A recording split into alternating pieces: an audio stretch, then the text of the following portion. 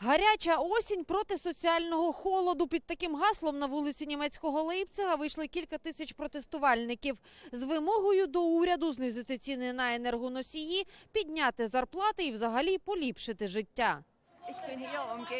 Я тут, тому що незадоволена інфляцією. Я хочу, щоб уряд запровадив податок на надприбутки і зробив щось для простих людей. На вулиці людей вивели дві політичні сили, які традиційно вважають проросійськими.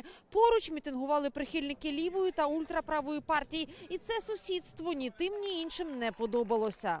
Я не хочу, щоб усякі праві расисти, антисеміти набирали бали на соціальних темах. Ми ліві повинні бути активнішими. Як давно ми не проводили таких демонстрацій? Час настав. До протестних настроїв уряд Німеччини готовий. Канцлер Олаф Шольц спрогнозував, осінь, а надто зима будуть важкими, але Німеччина впорається. Прогнози роблять і підлеглі Олафа Шольца. Ось, наприклад, заступник канцлера і міністр економіки Роберт Габих припустив, газогін Північний потік більше не запрацює. Мовляв, Німеччині та іншим європейським країнам слід готуватися до повної тривалої зупинки газопостачання цим маршрутом.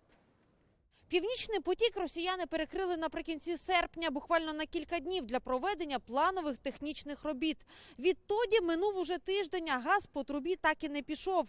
У Газпромі повідомили, з єдиної робочої турбіни на компресорній станції Портова витікає масло. Якщо агрегат не зупинити, станеться вибух. А речник Кремля Дмитро Пісков не приховував. Витоки масла та інші технічні проблеми не припиняться, допоки Захід не скасує санкції проти Росії.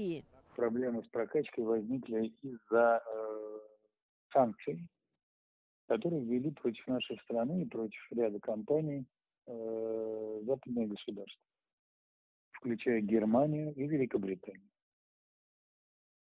А, иных причин, э, которые привели бы к проблемам с прокачкой, не существует. На відвертий шантаж Росії німці не реагують, натомість домовляються про взаємовиручку із сусідами, зокрема з французами. Париж та Берлін оголосили про запровадження механізму європейської солідарності. У разі потреби Франція постачатиме Німеччині газ в обмін на поставки електроенергії. Тетяна Логунович, Слав Фролов, подробиці, німецьке бюро телеканалу Інтер, марафон. Єдині новини.